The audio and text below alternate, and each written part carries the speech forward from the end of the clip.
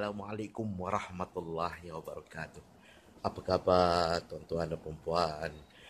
Saya percaya tuan-tuan dan puan telah pun menonton video tentang lima haiwan yang saya tunjukkan sebelum ini.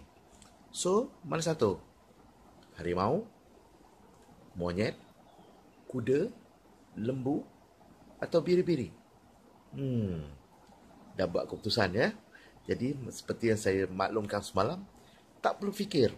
Terlintas saja haiwan tersebut. Memang kalau kita suka haiwan tu, kita akan terus pilih.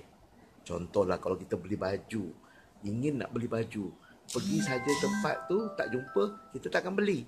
Tetapi dalam perjalanan kita, jalan kaki dicokit ke sebagainya, tiba-tiba terpandang satu baju tu terus berkenan dan kita akan terus beli.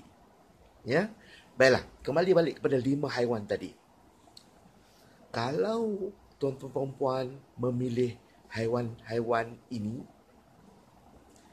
dan seperti saya maklumkan tadi, satu saja haiwan.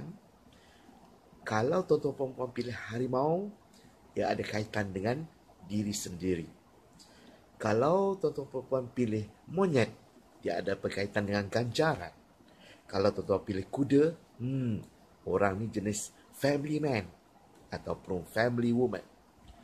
Manakala kalau yang tuan-tuan perempuan memilih lembu. Lembu ni lebih kepada memberi servis kepada orang. Dan akhir sekali, jika tuan-tuan perempuan pilih biri-biri, hmm, pasti ramai kawan. Kita akan hurai lagi dengan lebih jelas bagi setiap haiwan ini untuk video yang akan datang. Jangan lupa layari www.lembuthati.com Jumpa lagi.